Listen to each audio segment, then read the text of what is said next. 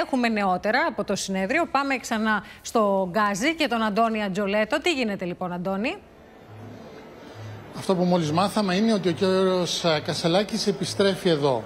Πήγε, όπως είπαμε πριν, στον Ταύρο, είχε μια σύσκεψη με τους στενούς συνεργάτες και επιστρέψει εδώ, επιστρέφει εδώ ΣΥΑ και καταλαβαίνουμε ότι θα κάνει πράξη αυτό που είπε, θα περιμένει μέχρι να μπει σήμερα και ο τελευταίος σύνεδρος.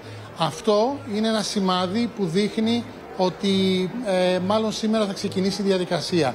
Υπάρχει πολύ μεγάλη αναμονή Κάτσε στην λεπτό, είσοδο. Αντώνη, εδώ ο κύριος Κασελάκης έκανε πριν από λίγο μια καταγγελία για το τμήμα των αμπελοκήπων. Κανένας λέει από εκεί δεν περιλαμβάνεται στις λίστες του συνεδρίου. Άρα θα πρέπει να θεωρούμε δεδομένο ότι δεν είναι ε, μέλη του συνεδρίου, δεν είναι σύνεδροι όλα τα εκλεγμένα μέλη. Έτσι δεν είναι.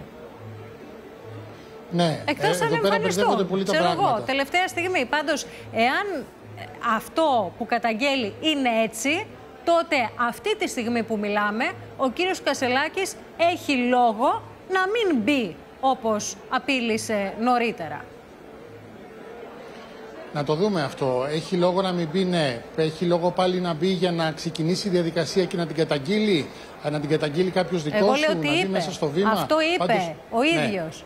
Ναι, ναι. Πάντως σίγουρα έρχεται εδώ να κάνει μια δήλωση για να δούμε τι μέλη γενέστε. Εγώ ήθελα να σου πω ότι από την πλευρά της πλειοψηφίας αυτό το οποίο λένε είναι ότι είναι εδώ. Ε, υπάρχει σαφώς ένα κόλλημα στην είσοδο με τις διαπιστεύσεις, αλλά περιμένουν κανονικά να προχωρήσει η διαδικασία για να ξεκινήσει σήμερα ε, το συνέδριο. Αν θέλουν κάποιοι να αποχωρήσουν, μπορούν να αποχωρήσουν.